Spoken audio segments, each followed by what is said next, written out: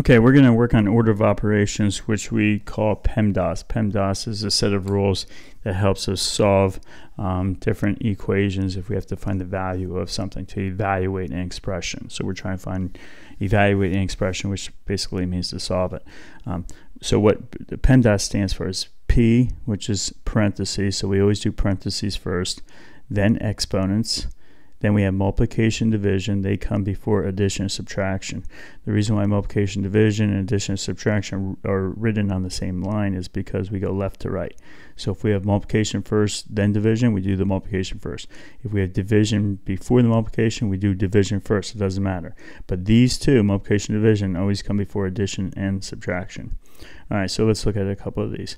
So if I have 3 times 5 plus 2 squared. Okay, so in PEMDAS we do parentheses first. There isn't any.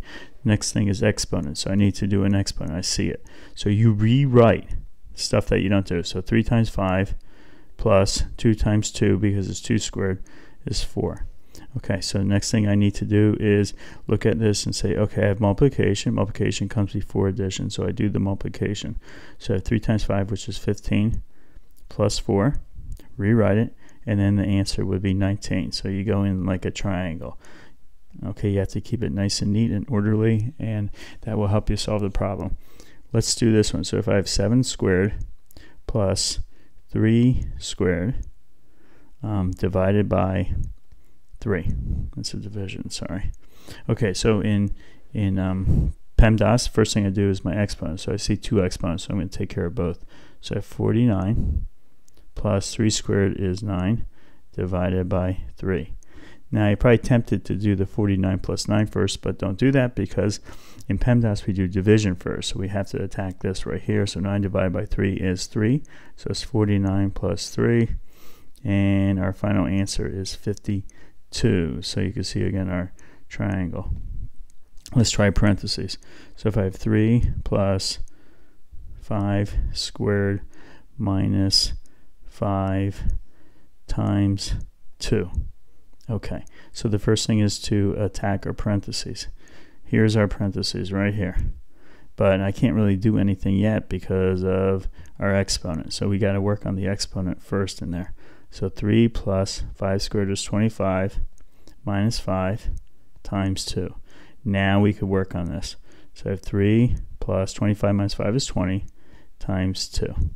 Okay, again, you got to be careful because we have plus and we have a multiplication. So times, we got to do that first. So it's 43 plus 40, and the answer is 43. All right, a couple more. Um, we're going to do something called a nested parenthesis. So it's a parenthesis inside a parenthesis. So I'm going to write 3 times, we're going to have a parenthesis here, another parenthesis, 4 plus 3, and we're going to square the whole thing. Oops. And we're going to, that's a 2.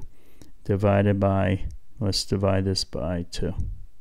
Okay, so the first thing to do is to attack the inside parentheses.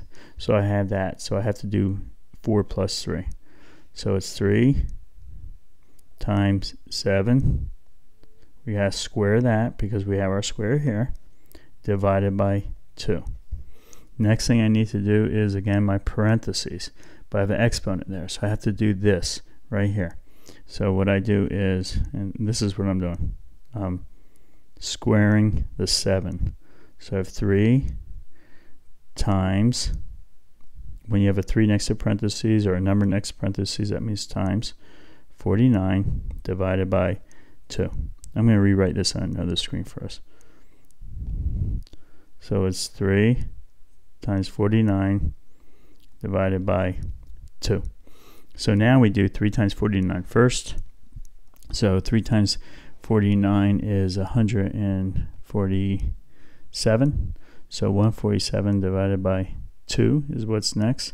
So 147 divided by 2 is 70, uh, what is it, 73.5. I did that real quick in my head. Okay?